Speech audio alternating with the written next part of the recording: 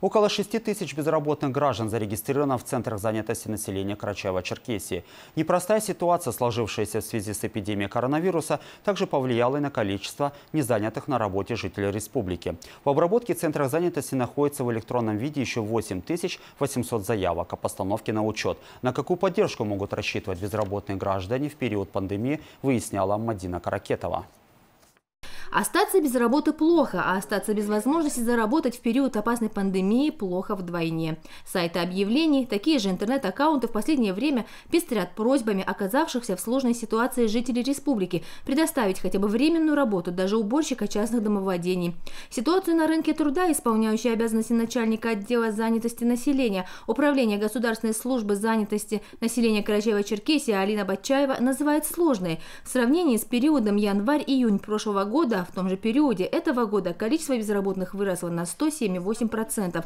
Уровень безработицы составил 2,7% от численности экономически активного населения.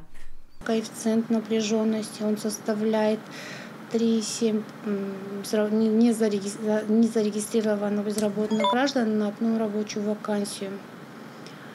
Э, и в связи со сложившейся ситуацией, естественно, потребность, заявленная потребность тоже уменьшилась. 1890 рабочих мест у нас на 1 июня было заявлено. Тоже уменьшилось на 4,2% по сравнению с прошлым годом.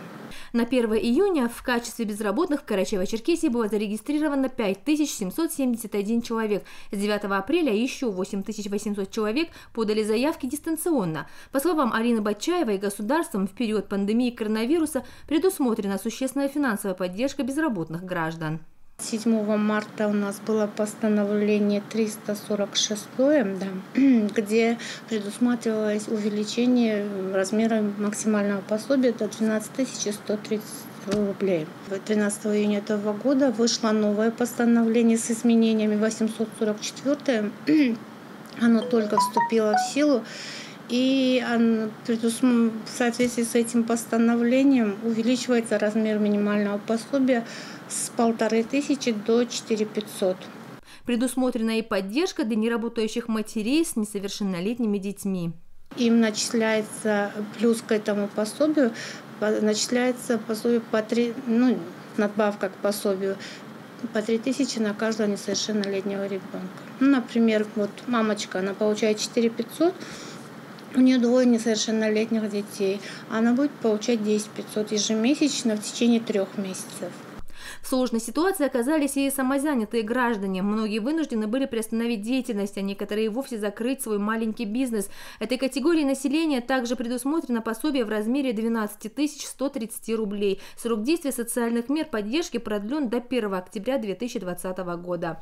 Еще одно нововведение. Те, которые уже состоят на учете, которым начисляется минимальное пособие, им за май-июнь будет сделан перерасчет. В Управлении Государственной службы занятости населения республики напоминают, что ведомство в период пандемии работает в удаленном режиме. Заявления принимаются дистанционно. Для того, чтобы подать заявление дистанционно, соискатель может зайти портал «Работа в России». Есть такой портал, он уже действует в России уже несколько лет, находится в активном пользовании. На этом портале безработные могут посмотреть и интересующие вакансии. Они могут подписаться на рассылку подходящих вакансий. Могут посмотреть, э, могут посмотреть вакансии не только по регионам России, но и у нас во всех муниципальных городских округах республики. Здесь же вся информация о работодателе, вакансии, предлагаемой заработной плате, информация об актуальных инвестиционных проектах, услуга бесплатная. Единственное, что потребуется от соискателя быть зарегистрированным на портале государственных услуг и резюме.